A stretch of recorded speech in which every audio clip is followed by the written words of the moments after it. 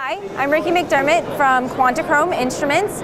I'm here with um, one of our newer instruments. It's a capillary flow porometer, the Porometer 3G series.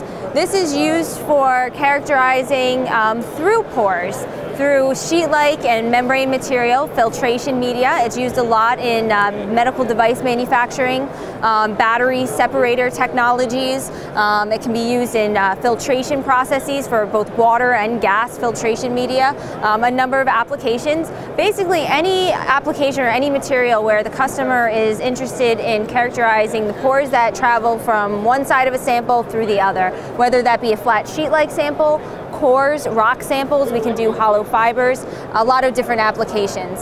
Um, what you see here are actually two separate modules. We have the, um, basically the control module. This has all of the pressure uh, transducers, the flow sensors. Um, it has uh, all of the PC cards for the data reduction and computer applications.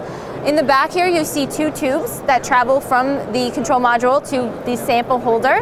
The thicker one on the top is actually the um, pressure input line. So that's where the gas is traveling from here all the way through. And this lower one is actually a pressure sense line. So it's a static line and that allows us to actually monitor the pressure that's being seen by the sample inside the sample holder versus assuming a pressure drop from the control module to the sample holder. Uh, this is very key when doing analyses since we're actually monitoring the pressure at which a capillary or pore is emptying when wetted by a fluid. Now the fluids that we uh, typically use will be um, a Porofil, which is um, our proprietary liquid, but you can also use mineral oils, silicone oils, um, some customers even use uh, IPA, alcohols and things of that nature. Um, depending on the application and the material, they all can be useful.